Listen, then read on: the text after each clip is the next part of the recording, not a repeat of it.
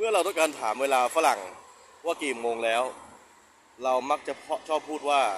what time is it ใช่ไหมครับ what time is it เป็นสิ่งที่เราเรียนได้ได้ยินกันมาตั้งแต่ไหนแต่ไรแล้ว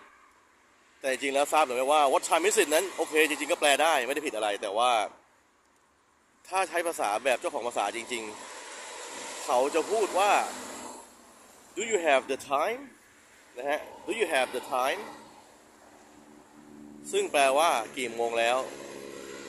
ฟังดูแล้วอาจจะงงๆหน่อยนะฮะ ลองเอาไปเปรียบเทียบอีกประโยคหนึ่งก็คือ do you have time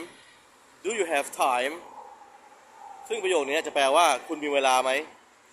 ให้ดูความแตกต่างระหว่างแค่ว่ามี the กับไม่มี the หน้าคำว่า time ความหมายเปลี่ยนไปเลยนะฮะ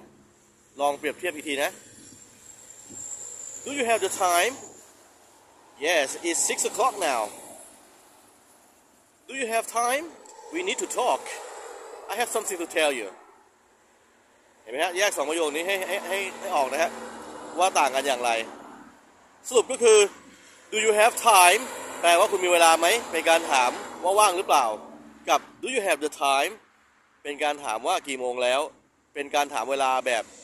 native speaker คนที่เป็นเจ้าของภาษาเขาพูดกันจริง ๆ ซึ่งเท่ากับ what time is it นั่นเอง goodbye